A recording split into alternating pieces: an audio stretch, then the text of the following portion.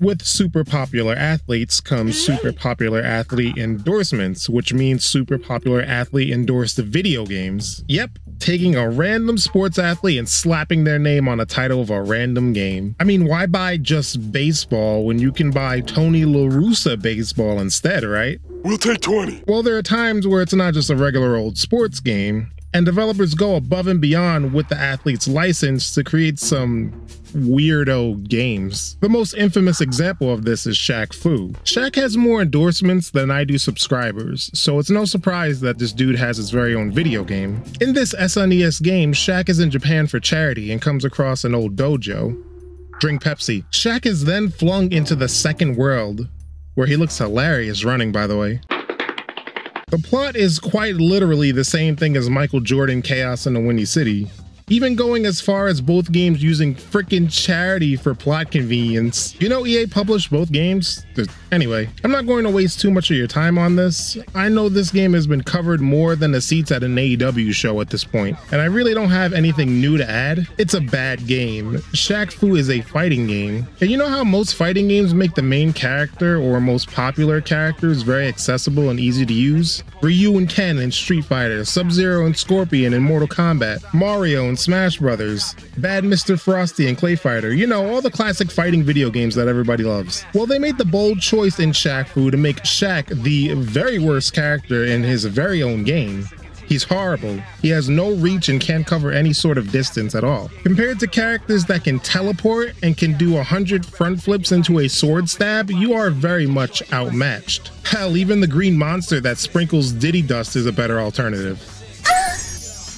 What are Shaq's special moves? He can do this flaming kick, which looks similar to a normal kick that he has, just with a flame animation attached to it. You have to get real close to use it and it does very minimal damage. And you have this airbending Destructo disc. Combining attacks from two bald animated monks sounds good on paper, but not here. This thing has a startup animation and does nothing really. The move is also a little weird. You do forward, back, forward punch to do it, but sometimes Shaq will throw out a punch then the move activates, a sign of a poorly made game, which I'm not gonna go too deep into. You all know this sucks by just looking at it. So I try to beat the game, even going as far as to turn the difficulty down to easy. Pussy! And the game crashed when I got up to... Yeah, besides novelty, this is worthless. But we ain't done with Shaq Fu yet, or at the very least, Shaq-related games having Shaq Fu in the title. In 2014, an Indiegogo project was posted. Shaq Fu, the Legend Reborn. The first Shaq Fu was terrible. One has to wonder why couldn't Shaq fund this himself? Oh, I'm kicking everybody ass. Kicking it. See, you couldn't even see it. See, that's that new move.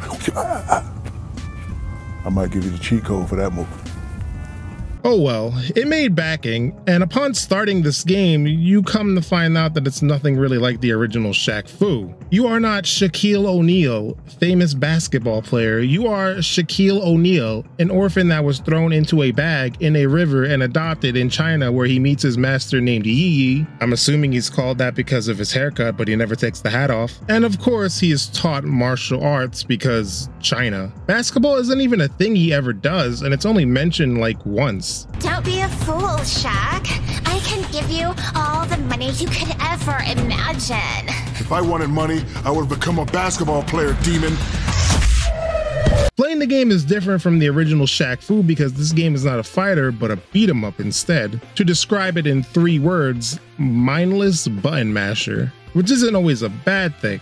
The game is fairly simple. It can be satisfying to beat up hordes of people as the guy from the NBA on TNT. The game tries some variety, introducing new enemies like this fat guy, this other fat guy, this other fat guy. Oh, another fat guy, huh? They eat eating good in this universe. There are also weapons like signs, this green thing, rocks to push, and 7 kabillion barrels. There are these parts in the level where you transform into the Big Diesel or the Shactus. Shactus.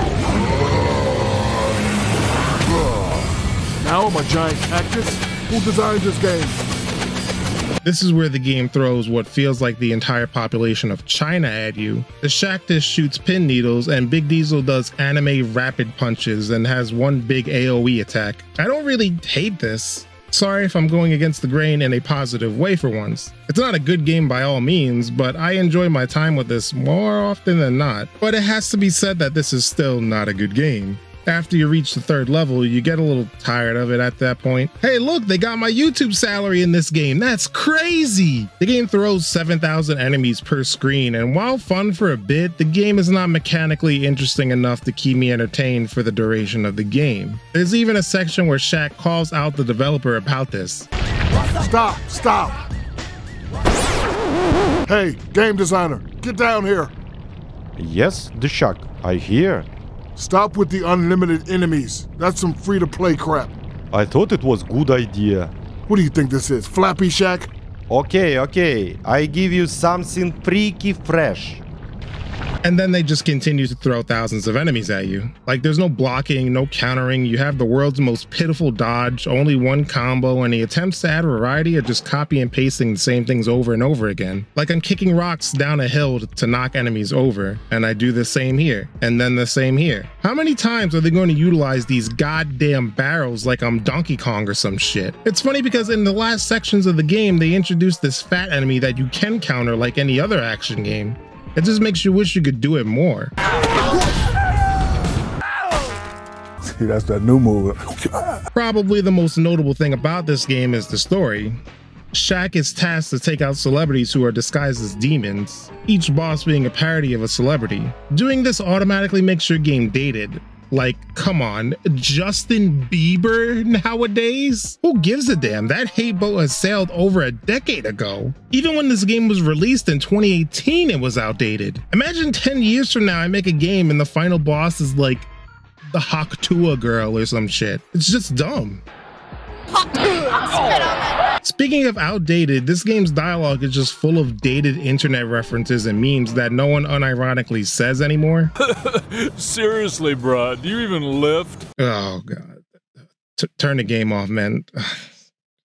terrible. Another thing that was criticized was the over the top stereotypes, like Shaq's teacher, Yi, is very clearly a white dude doing his best Asian accent he can. Those kids just jealous because you such big boy. I mean, your turds must be bigger than their heads. Your feet must be the size of. I get the point. Or how about these German guys that are led by Mel Gibson, huh? I can't decide whether to wear chaps or lederhosen to the cotillion. Or this enemy type that's a black guy who, we who weaponizes grape soda. Are you one of them new Ghostbusters? No, my brother. This here's grape soda. Sodium benzoate, Dasho purple, and high fructose corn syrup to top it off. So you can run and tell that, homeboy. I'm no prude or anything. I'm not offended, and some of it does get a chuckle out of me, but this stuff is so low hanging you'd expect to hear in a middle school in like 2007, not a real video game. Even the ending is super unsatisfying. It's sequel bait. You have to take out one last celebrity, and that's Kanye West. Now, on my screen, there's something called Barack Fu. Out of curiosity, I played the first level and it's in France where you fight a bunch of people that use baguettes as weapons and wave the white flag, while Barack's super move is calling in a drone strike. What? I like Shaq Fu the Legend Reborn way more than the original, though the game has the same internet reception as the original. Eh, it's not bad. Probably why the game has such a bad reputation is because of the Indiegogo campaign. You can look at the comments today and still see people saying they never got their reward. I have no clue who the developer Big Deez is, but I'm pretty sure this company was just made to make a Deez nuts joke, and honestly, I respect them for it. This whole campaign just blatantly lies. We'll look through each statement in the game section to see how true any of this really is. Okay, play as Shaq. Yep, we're good so far, one for one. Intricately designed combo system that leaves room for a variety of fighting tactics. This is just a subjective thing. Like I can say this video you're watching right now rivals Citizen Kane in terms of meaning, but in reality, you guys know this is just some dumb shit I'm doing. The game has one combo. I, I, I can't let that slide. That's a lie. Pimp your character with new moves and abilities. Select from different fighting styles or combine styles and create your new discipline. Shaq is not in terms of cosmetics or fighting style. That's a lie. Challenges for even the best players.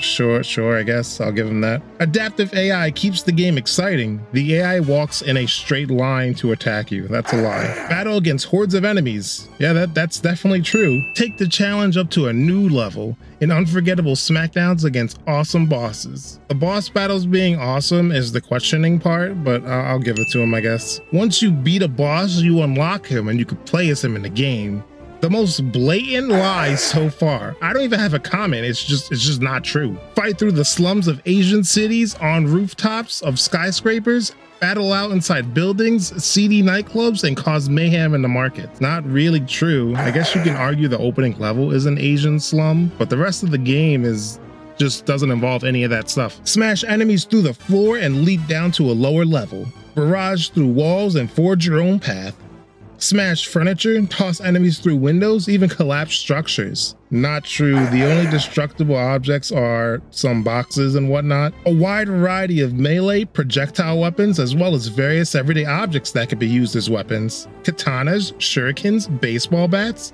the occasional basketball filled with the wrong type of gas, bottles, knives, and dozens more. Yeah, so that's a lie. There's signs and this giant green evil maraca and barrels. That's really it. Wipe out huge numbers of enemies at once. Pull down enemies with balls of steel, create earthquakes of unprecedented power, slam dunk baddies with ease. Don't know what any of this means? I'll give it to them because Balls of Steel reminds me of this old Duke Nukem video. Excuse me, who the heck is this? I've got balls of steel. Balls of steel, what is that? Modifiers that change your appearance and enhance your skills. This is like a half truth. Huh? You have Big Diesel and the Shactus, but those things aren't mentioned here.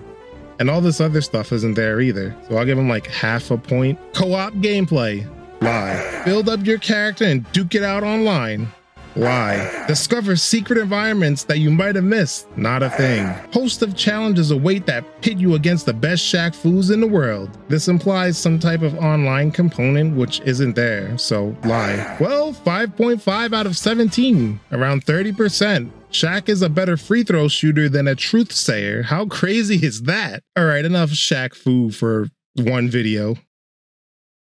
Let's talk some soccer.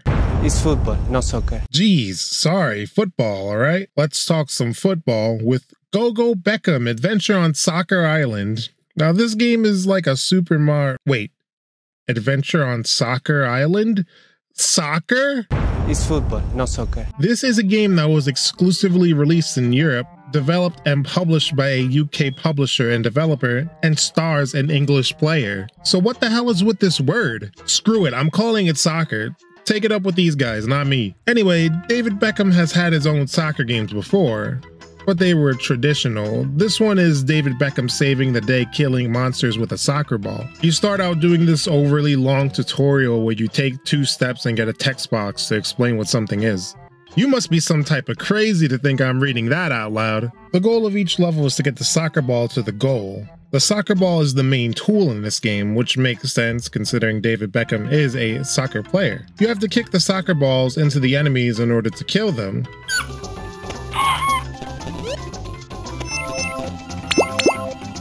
You can come across other bonus soccer balls to get throughout the level. It can be cool using the ball, but it's more annoying than anything, to be honest with you. Beckham can't really do anything by himself, he needs the ball to kill enemies, to collect coins, to end a level, to do his taxes, literally anything. You have to kick the ball into coins in order to collect them, which makes the simple act of getting the regular collectible more work than it really should be.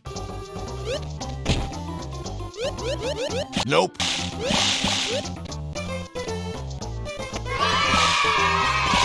The art style is charming and the level design is decent. You aren't going to run into anything overly too challenging or crazy. And overall, the main thing here is that you are playing a game starring a soccer player where you kill things to save this island. Besides that, it's, it's an alright little game. Don't really have too much to say.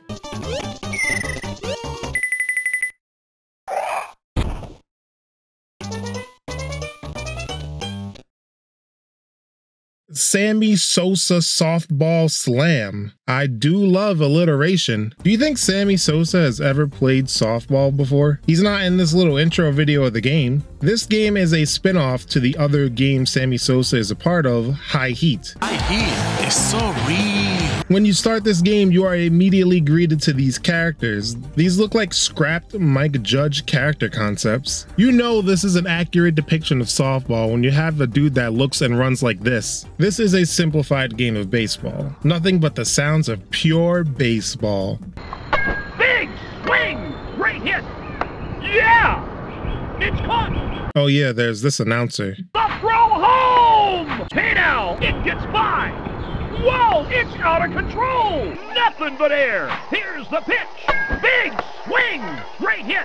Shut up. Uh-oh, it's Ingrid! Uh-oh, it's Kira! Uh-oh, it's was! Uh-oh, it's Wendell! Yeah, that's a, that's enough out of you, man. Holy cow. Oh, oh, oh, oh, oh. Speaking of cows, did you hear that? Be alert! Be alert! Are we on a barn or something? I'm gonna go in a replay and look around. Whoops, did not mean to look at this. Since this game is pretty bare bones, they try and make up for it with noises and talking every nanosecond. It's like ADHD, the video game. If it's not this goofball announcer or the cow noise, it's it's the actual players. These guys just say stuff, but the number one thing they always say is how my shoes are untied.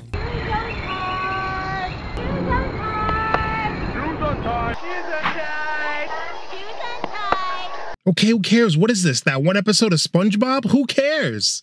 Now batting, Sammy Sosa! I'm taking this one deep. That is not Sammy Sosa.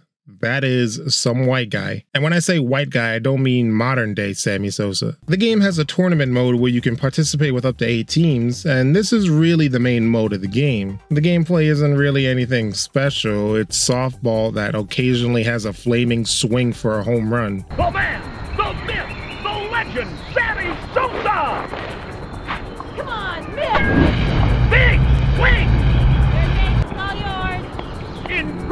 It's out of here! I don't know if they were going for an arcade feel or not. I think pushing more into the arcade feel would be beneficial for this game, but it doesn't really do anything well at all. From presentation to bare bones gameplay, the only thing I can commend them on is the ability to customize players, which is something that some modern games don't even let you do. Also, Sammy Sosa's body type is called Sosa. Please tell me what this means and how I can achieve it. This was doomed the second they made this a softball game. Like, who asked for this?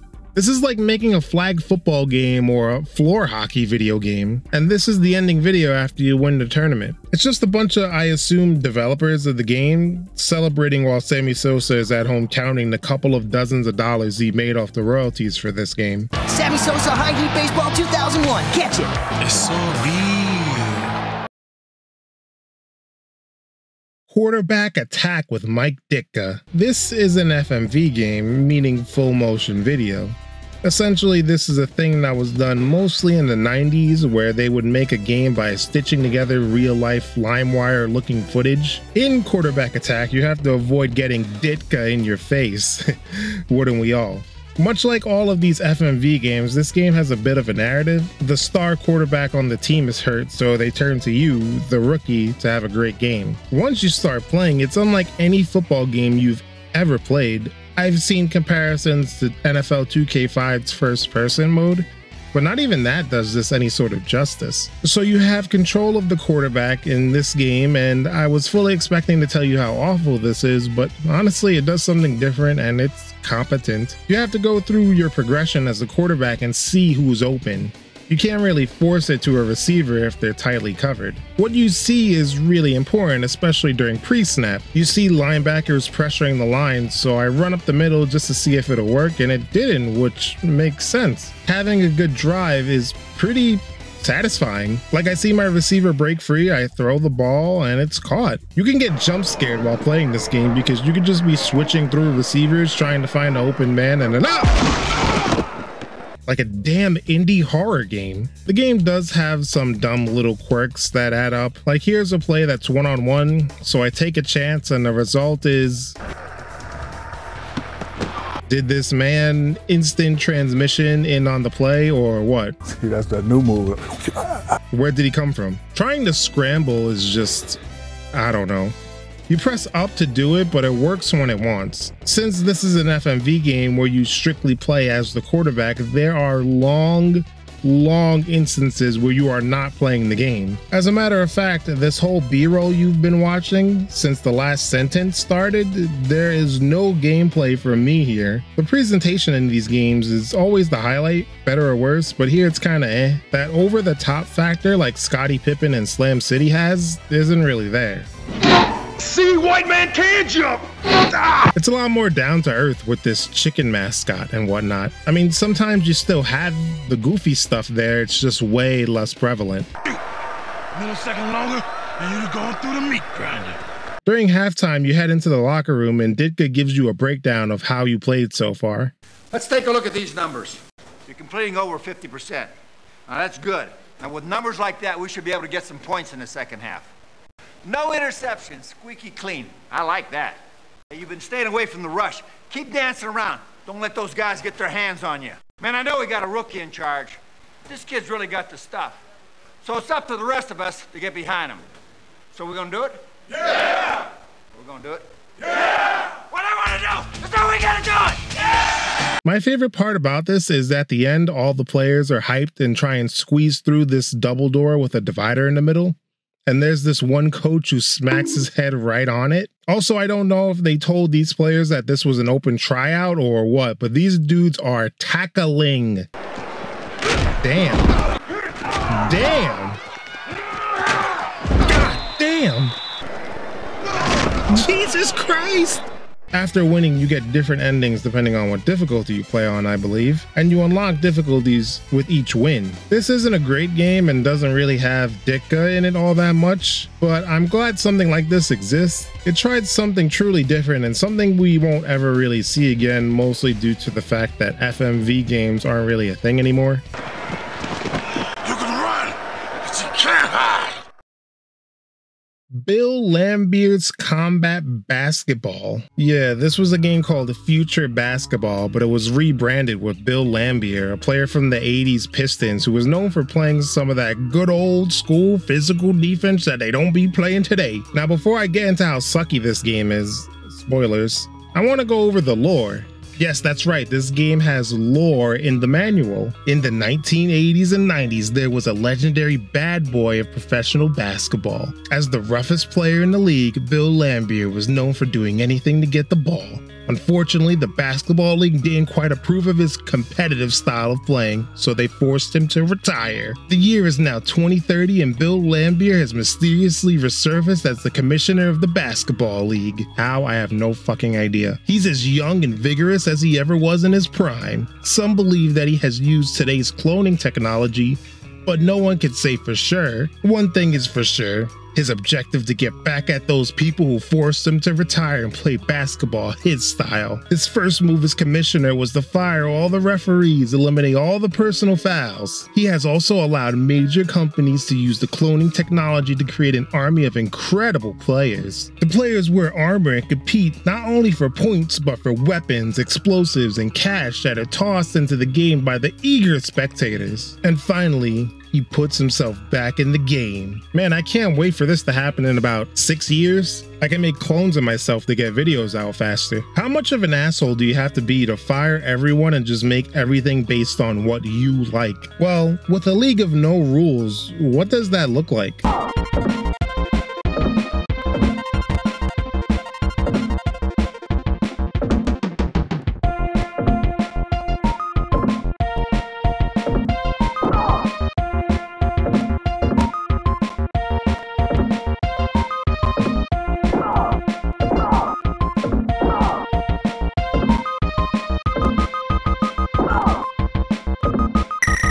Like shit. The cloning technology definitely works because all these dudes have been cloned from the same mohawk guy with no basketball skill whatsoever. This barely even resembles basketball and everything feels terrible. Something as simple as passing is done in a way where the ball is kinda sorta passed in the player's general direction. Making a basket is just random and rarely ever goes in no matter the circumstance. It's pathetic. I got this one. Damn. Okay, I got this one. Damn. Okay, I got this one. Damn. Okay, I got this one. Damn. Okay, this one I got. Damn. This one. Damn. I got this one. Damn. This one, I got it. Damn. This one's going in. Damn. I got this one. Yeah, went in. like, was that an Angel Reese simulation? what the hell? Nothing says great basketball like a 4 nothing game at halftime. Man, these players sure are incredible, right? Now, what about those weapons? Oh, you mean this thing that looks like a hockey puck and piss pills? I don't know what these are. What's the draw to this game? The fact that you could shove other players? See, that's that new move. Let's leave this one in the past. Now, MMA legend Demetrius Mighty Mouse Johnson actually had a game. You probably think he'd be a part of a beat 'em up or something like that, right? But actually, an endless runner? Yeah, an endless runner, Mighty Mouse Dash. You control DJ, and I think you know how these games work. As far as how is this compared to any other endless runner, it's fine, I guess. I'm just getting started.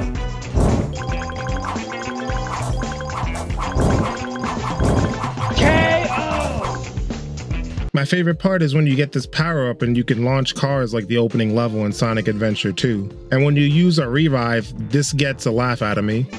Oh shit, there's more! Once you've played about 10 minutes, you've seen quite literally everything the game has to offer. Even the other unlockable level is just the same thing with different set dressing. But we aren't done with endless runners, we have Ronaldo Kick and Run, which lives up to the name because you are Ronaldo. I think he's bow legged or something, and you're kicking and running. This one's better than Mighty Mouse Dash simply because of the soccer ball and its ability to open up different paths. It makes things a little bit more interesting, and the verticality of the levels as well. But once again, it's just another endless runner. Messi also has an endless runner, but whatever, enough of this. Going back to Ronaldo, did you know he had a Java game where he had to go to hell to play soccer against Piccolo in order to save the world? Well, now you do. Shut the hell up. Before we get into the final game, let's talk about some outliers. Hulk Hogan's main event is a wrestling game, which would have been good for this video, but it's for the Kinect. I don't own a 360 or the Kinect camera, so oh well, brother. Same thing with this crappy looking Michael Phelps swimming game on the Kinect. Boy, I wish I could have done this. Doesn't this look fun? Michael Phelps looks thrilled. There's also Michael Jordan games, Scottie Pippen and Slam City, and Jerry Rice Dog Football, all of which I've covered on his channel before. So in case you want to see more stupid stuff, I got plenty of it on here. Ball. What's with all these basketball players having these weird games, by the way? The rest of the games I found were all really run of the mill sports games, so if I happen to miss anything, write it down in the comments. Charles Barkley Shut Up and Jam. This is a 3v3 street ball game starring Charles Barkley. And this is not the game we're talking about today.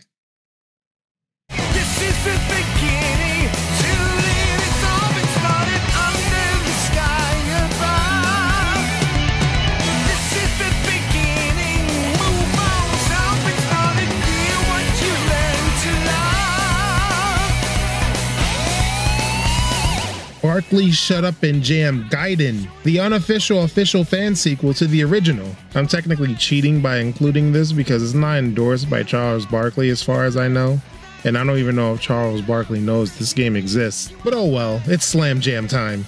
So how do I even explain this game? Well, Shut Up and Jam Gaiden is an RPG starring Charles Barkley, LeBron James' great-grandson Balthios, a dwarf who'd suffered an accident that left him permanently deformed, so they had to skin graft basketball texture to his face, and Hoops, which is Barkley's son. It's a shame when you realize the developers of Streets of Rage stole the sprite of Hoops and put it in their own game. How shameful. The story is is The year is 2053. Basketball is dead. I wonder if this has ties to the Bill Laimbeer universe. Charles Barkley performs the very powerful Chaos Dunk in the middle of a game. The dunk is so powerful it killed everyone in attendance. Since that fateful day, basketball has been outlawed.